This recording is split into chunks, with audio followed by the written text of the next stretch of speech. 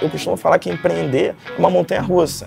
Eu lembro que quando eu saí do banco, a minha avó virou para mim e disse: Meu filho, o comércio está tão difícil, você tem certeza que você quer fazer isso?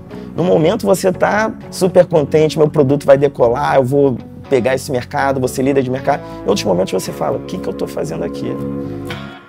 Esses altos e baixos com certeza impactam na vida pessoal do empreendedor.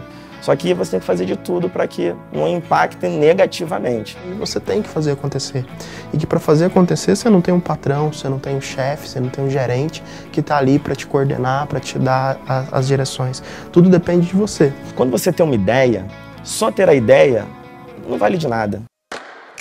Eu não acredito muito nesse mote da ideia de um milhão. Existe a execução de um milhão. Então você precisa ter aquela ideia e você precisa validar essa ideia provavelmente você não vai ter o resultado esperado de primeira. Então você vai ter que adaptar o seu modelo. E a Persaco passou por essa transformação com, com o InovaBra. A EasyCredit também. A EasyCredit cresceu muito como empresa. Como toda startup, a gente errou muito nessa trajetória. A Persaco é uma empresa de tecnologia que tenta descobrir, baseado no comportamento dos usuários, qual o melhor produto, qual o melhor momento e qual o melhor canal para impactar esse cliente.